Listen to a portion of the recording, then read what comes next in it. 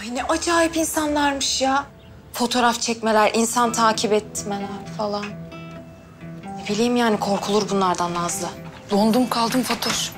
Ya o kadar utandım ki keşke yer yarılsaydı. Bu işler nasıl bu hale geldi? Gerçi ikimiz de biliyoruz bu hale nasıl geldiğini. Selam. Ee, şey ben çok yorgunum. Aç da değilim. Yemeğe çağırmayın beni. Öyle kaçtığına göre her şeyden haberim var. Var abla olanlardan haberim. Pişmanım, üzgünüm. Ama artık olan oldu. Kapatalım bence bir konuyu. Siz de gündeminizi falan değiştirin.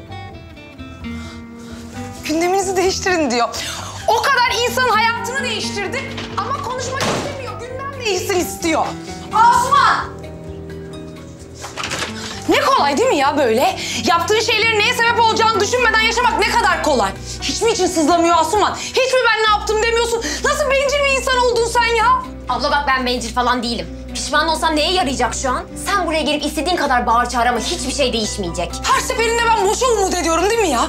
Belki birazcık olsun değişirsin diye. Belki yaptığın sebep olduğun şeyleri sorumluluğunu birazcık alırsın. Belki biraz pişman olursun diye. Buna sadece benim yaptığım bir şey sebep olmadı. Tamam benim çektiğim fotoğraflar her şeyi başlatmış olabilir ama asıl senin Ferit Bey'le olan fotoğrafların bitirmedi mi her şeyi? Niye tek suçlu ben oluyorum şu an? Oluyor değil mi abla? İnsan böyle ara sıra hata yapabiliyor. Duygularına, arzularına yenildiği oluyormuş değil mi? Bana bak Asuman. Kendini aklamak için beni karalamaya çalışma. Doğru konuş. Doğrusu şu abla. Ben bir cahillik ettim. Para kazanmak için saçma sapan yollara başvurdum. Ama pişmanım ve düzeltmek için uğraşıyorum. Merak etme. Ben düzelteceğim. Gidip anlatacağım her şeyi. Nazlı. Abla. Abla bak beni bir dinle. Abla bak ben bir fırsat yakaladım.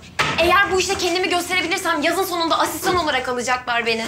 İşim olacak, düzenli bir maaşım olacak. Ablam benimle gurur bile duyacak. Üç kuruş için saçma sapan insanlarla muhatap olmak zorunda kalmayacağım. İşte tam da bu yüzden söyleyeceğim Asuman. Sen hala dürüst olmak için zannediyorsun ki cebinde paran olması gerekiyor. Öyle bir şey yok. Sen bu dersi alacaksın. Çık dışarı. Çık!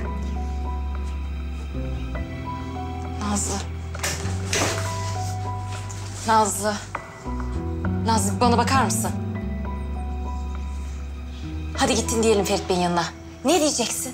Bilmiyorum Fatoş ama söylemem lazım.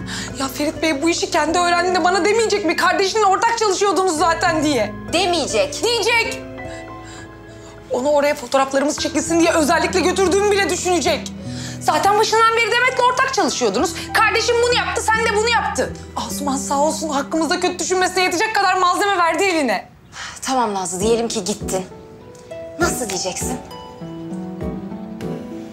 Bilmiyorum Fatoş. Bilsem çoktan gidip söylerdim zaten. Her seferinde çıkmazda buluyorum kendimi. En iyisi gidip dikilmek karşısına. Bodozlama söylemek. Ne olacaksa olsun artık. Çok yanlış şeyler yaptın Nazlı. Bakalım nasıl çıkacaksın işin içinden. Bir de uyanık geçiniyorsun. Alo Fatoş. Sabah yoksun, gece yoksun. Eve geldiğinde mi gittin yoksa sabah mı geldin gittin? Hiçbirinden haberim yok ya. 40 kere aradım açmıyorsun da. Fatoş başıma neler geldi bilsen. Ay ne oldu? Ben dün gece Ferit Bey'in evinde kaldım. Evinde kaldın Ferit Bey'in. Sen, ikimiz. Ay Nazlı biz daha önceden bu konuşmayı yapmıştık. Şu an dejavu oldum kız. Fatoş sandığın gibi değil. Bahçede uyuduk. Ay yıldızların altında çok romantik. Öyle de değil. Ay nasıl o zaman ya? Öyle değil, böyle değil. Ben gerçeği söyleyemedim. Hah, tam isabet olmuş. Nazlı, çok rahatladım. Boş ver ne söyleyeceksin ya? Sen de mi Fatoş ya? Tamam kapatıyorum. Sonra konuşuruz.